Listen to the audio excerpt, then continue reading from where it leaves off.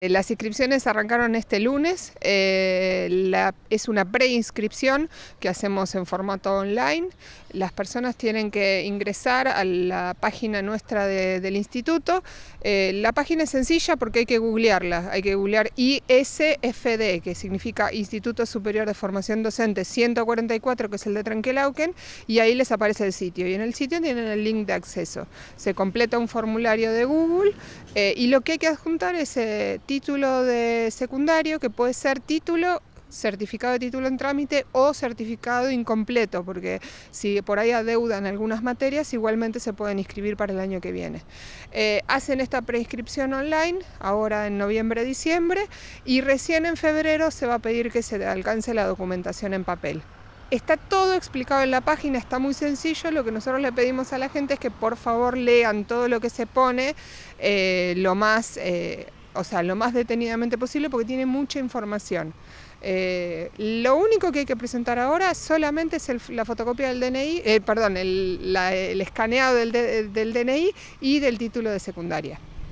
Hasta ahora que yo llegué al instituto hay casi 90 inscriptos, así que muy bien. Eh, tenemos eh, ahí siempre una competencia entre las carreras a ver quién va primero y estamos muy parejos entre lo que es el profesorado de educación física y el profesorado de educación inicial.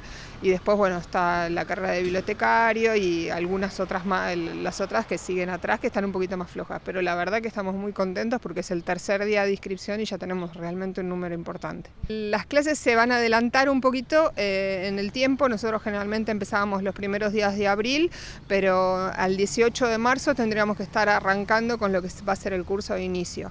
Eh, generalmente nosotros la, publicación de, esas, de ese tipo de fechas las damos a través de los referentes, a principio de año pedimos un referente por grupo, se arman grupos de WhatsApp cuando ni bien se conocen y, y también se publica en las redes sociales.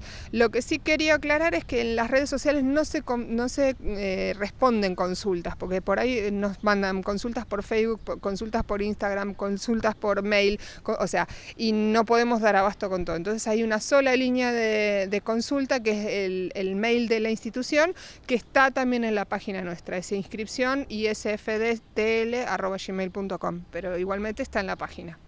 El Instituto 144 tiene para el 2024 seis ofertas educativas, tres profesorados y tres tecnicaturas. Dentro de los profesorados, el profesorado de educación física, el profesorado de educación inicial y el profesorado de inglés.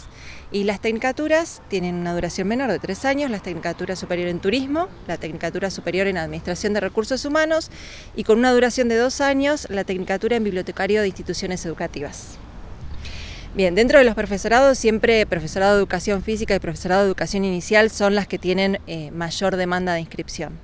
Ahora, las que tienen mayor demanda en cuanto a puestos reales de trabajo y mayor inserción de nuestros egresados son el profesorado de inglés, y la Tecnicatura Superior, tanto en turismo como en administración de recursos humanos. ¿sí?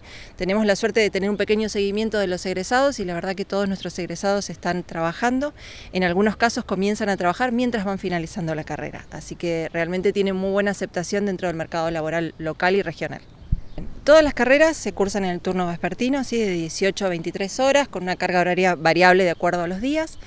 El profesorado de inglés puntualmente tiene una duración de cuatro, años y tiene la particularidad de tener un curso de formación básica, es decir, que aquellos que ya tienen el conocimiento del idioma pueden iniciar un primer año con la totalidad de las materias. Aquellos que no, no tengan una formación óptima en idioma tienen la posibilidad de completar o nivelar esto con un curso que se dicta en el mismo instituto y que cumplimenta el nivel idiomático para acceder a las materias de primer año.